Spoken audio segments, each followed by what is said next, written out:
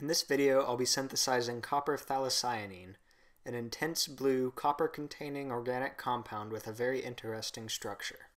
For this reaction, you'll need 4 grams of phthalimide. I made this according to the video by ChemPlayer.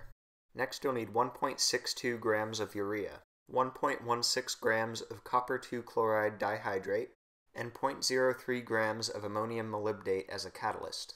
In the past, other people have had success substituting boric acid for the ammonium molybdate catalyst. To begin, the prilled urea is crushed up in a mortar and pestle. Next, the other components are added one at a time and mixed in thoroughly. Unfortunately, because it was very humid in my lab that day, the mixture became a very thick and sticky paste, which was very hard to scrape off of the mortar. I managed to get most of the paste into a small ceramic crucible, which I then placed in a sand bath on my old kitchen hot plate. I decided to use this hot plate because it heats up faster than the ceramic topped one that I normally use. As the temperature of the mixture reaches 100 degrees Celsius, water begins to boil off.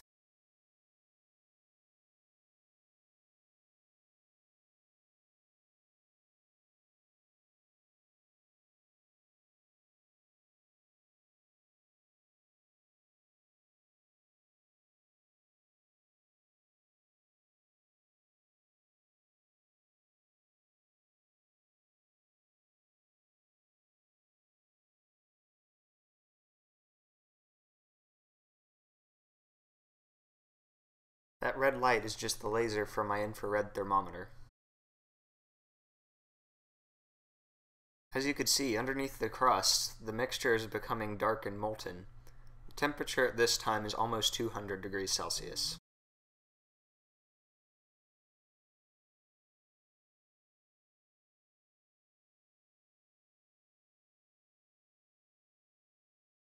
At this point, a lot of the phthalimide is subliming, so I decided to put a lid on the crucible to contain it.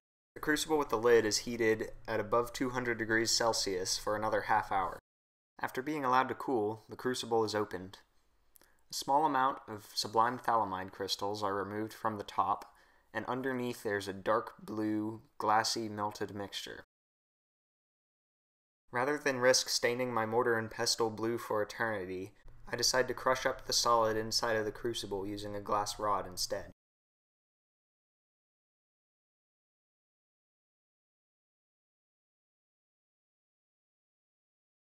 Once I manage to get most of the material out of the crucible, this is what I'm left with. Set up an apparatus for vacuum filtration. Even if you have a fritted funnel like I do, put down a layer of filter paper. Wash the product three times using distilled water.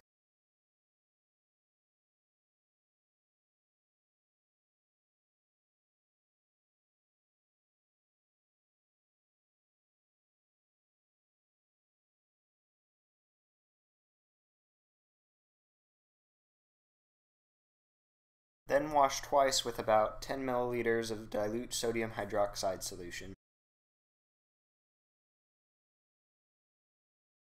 Next, do two washes with 15% hydrochloric acid.